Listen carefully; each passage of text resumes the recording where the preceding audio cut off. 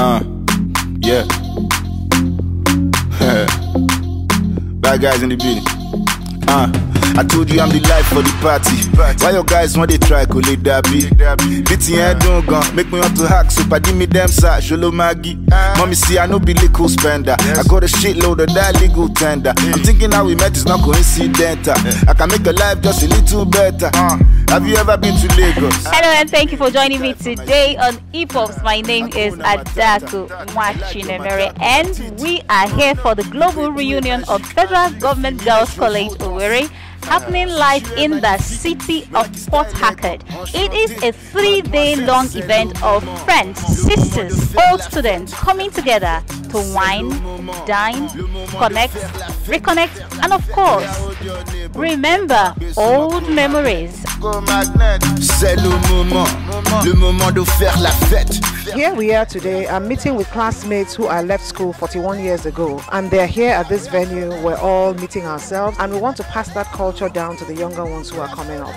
You know, sisterhood, evergreen sisterhood, that was the theme of this particular um, reunion. And the whole idea is just to make sure that let's keep the sisterhood alive you know, shun the barriers of politics, shun the barriers of religion, shun the barriers of culture, and just remain who we were when we left schools. I am happy to be here today because it's our reunion, and I'm happy to see old friends again, our seniors, our teachers here again today. We reunite members, help members to grow in their various lives, and we also bring back our gratitude to our school where we have graduated from to help our young sisters come up just as we have come up. Coming out every two years is always very wonderful. You know, you meet people that you never thought you were going to meet again in life and you see them, you know, some fat, some slim, tall, different complexion and then there are different endeavors. In 1998, we committed, we came together in my zone to make, you know, build an alumni. Little did we know where we're headed. Little did we know where this, this whole thing is headed. And from one step to the other, we have grown in leaps and bounds. We've committed huge to the girl child, the overall and wholesome development of the girl child. We've done so much for our communities, for one another in the sisterhood.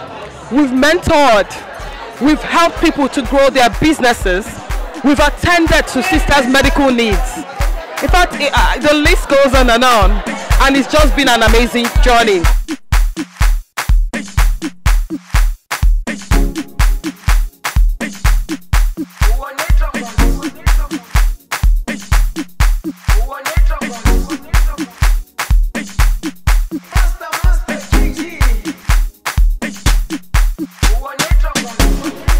Jerusalem ikhaya lami ilondoloze. Uhambe nami. Zungangishila I feel great and I feel uh, very fulfilled. Most of us here um, some of us have not seen ourselves for the past 40 years or more. So this is a very good opportunity for us to come back together and be those little girls that we were back in the day. We're helping the younger ones back in school. In our various chapters, we've helped them. Sometimes we're called upon to support for menstrual hygiene. So we buy things for them and send to the school. Actually, this association has completely built and handed over a full classroom block, six classroom block, two-story building to the school. We're actually mentoring the younger ones. We're also mentoring some of the students. You know, we have a big sister program whereby we go and talk to the girls. We also emphasize it's not all about academics. You can excel in other areas. You know, if there's somebody who might not be that book smart, but she's very creative. So we encourage her to explore her creativity and give her avenues to showcase what she can do. We're very much interested in one another, one another's welfare, you know, improvement and all that. Everybody is interested in the next person. That is the truth. The topic for today was actually um, having health and well-being through healthy lifestyle practices, through lifestyle medicine. And I did mention that lifestyle medicine is that um, um, new medical specialty which uses evidence-based lifestyle interventions to prevent, treat, and oftentimes uh, reverse um, chronic diseases, which are lifestyle related anyway. So, how does it help it? If we embrace these healthy lifestyle practices, we're more likely to become healthy. And what does health mean? According to WHO, it is not merely the absence of disease or infirmity, but a state of total psychological, physical, and social health.